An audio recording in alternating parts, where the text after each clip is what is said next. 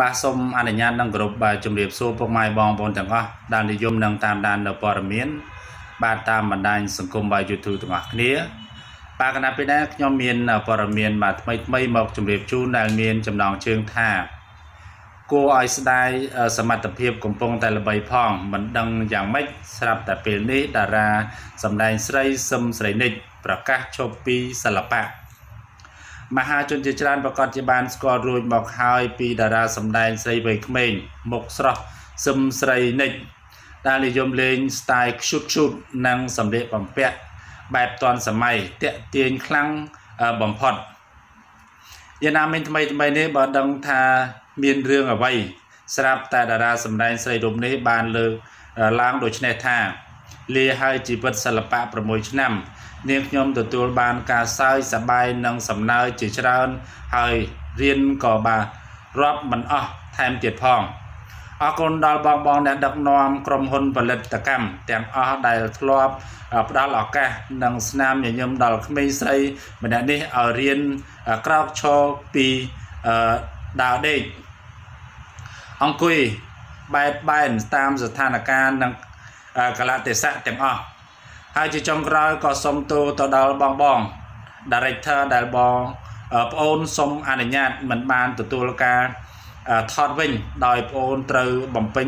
ធុរកិច្ចដែលត្រូវបំពេញមើលថែខ្លួនឯងនិងការងារដែលគប្បីនិងផ្អាកឬក៏បញ្ឈប់ជីវិតសិល្បៈមួយនេះ តែការងារសាច់រឿងដែលដកជាប់អារម្មណ៍ខ្លាំងបំផុតគឺសាច់រឿងដែលបាន វាយរ៉ាប់រៃរ៉ាប់ស្រឡាញ់លើសពីការរំពឹងទុកទាំងពីររឿងរបស់បងប្រុសតារាខេមរៈអូនអរគុណបងប្រុសដែលស្រឡាញ់បងស្រីម្នាក់នេះនឹងតែងតែផ្ដល់នៅតួនិងមโนសញ្ចេតនាដកជាប់អារម្មណ៍នីមួយៗដល់បងអូនអារម្មណ៍របស់បងអូន សង្ឃឹមថានឹងបានថតនៅក្រោមស្នាដៃរបស់បងប្រុស និពន្ធថ្មីបើមាននិស័យលើវិថីមួយនេះ ថែមទាំងបងបងអ្នកដឹកនាំដែលប្អូនធ្លាប់រួមការងារជាមួយផងដែរបងស្រីម្នាក់នេះនឹកដល់បងបងគ្រប់គ្នាស្រឡាញ់ពេញបេះដូងអរគុណដល់ friend friend ទាំងអស់ដែលតែងតែគ្រប់គ្រងនិងស្រឡាញ់ខ្ញុំជានិច្ចបាទឥឡូវនេះបាទតារាចម្រៀងបាទវ័យក្មេងបាទស្រស់ស្អាត ដួងម៉ានិចបាទមិនដឹងជាមានរឿងហេតុអីបាទសុកសុកក៏លាឈប់ពីបាទវិស័យសិល្បៈបាទ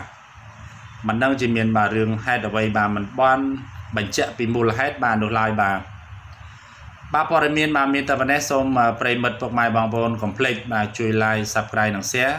ដើម្បីទទួលបាននូវព័ត៌មានបាទថ្មីៗជារៀងរាល់ថ្ងៃបាទសូមអរគុណនិងសូមជម្រាបលា